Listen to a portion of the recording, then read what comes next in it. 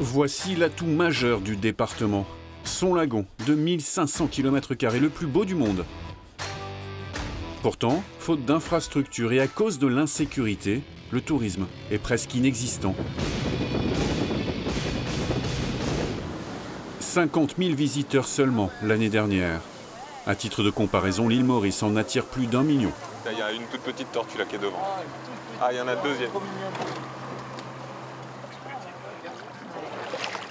Faudrait quand même euh, être assez courageux pour lancer un hôtel ici euh, pour du tourisme en sachant très bien que le billet d'avion coûte euh, deux fois le tarif d'un billet pour aller à Bali ou bah, n'importe où en fait dans le monde au départ de Paris. L'île est petite, c'est pas fait pour accueillir du tourisme de masse non plus.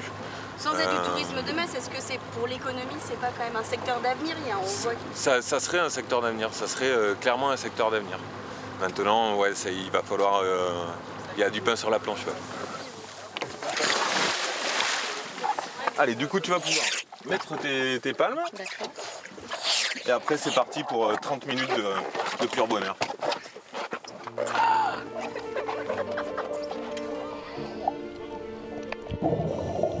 La plongée reste l'activité numéro un. La double barrière de récif et la fameuse passe en S sont des atouts mondialement réputés.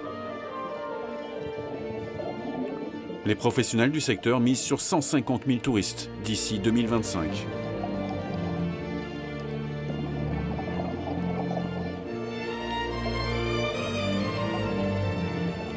On a une biodiversité, on a euh, des, paysages, on a tout ça et je pense qu'il ne faut pas le garder qu'à nous. Il faut faire savoir au monde entier que ça existe et qu'on peut leur proposer ça comme atout touristique sur, euh, sur Mayotte. Il y a un potentiel énorme à développer et qui est là, qui attend. un patrimoine qu'on nous a légué qui est là, qui attend juste à ce que les gens se disent ok on y va, on met les moyens pour euh, qu'on puisse voir Mayotte autrement. Ça va marcher. Et ça va marcher.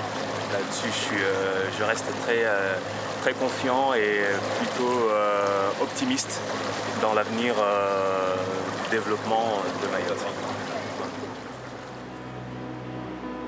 Les deux compères viennent de s'associer pour proposer une activité unique, une découverte du lagon par les airs.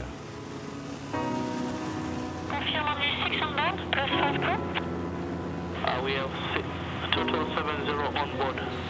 65